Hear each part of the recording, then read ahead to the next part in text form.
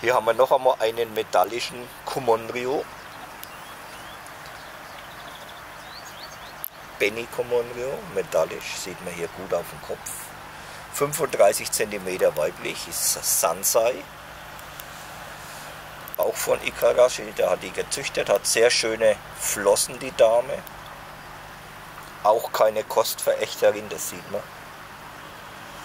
Wir haben die auch als Tossai gekauft.